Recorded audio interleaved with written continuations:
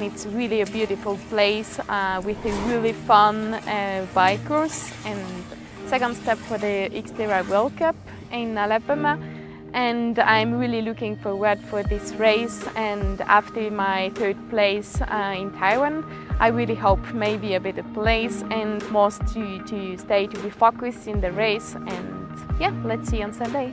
I did the, the bike course this morning and it's really a fun bike course with a lot of singles. It's really a fast bike I think.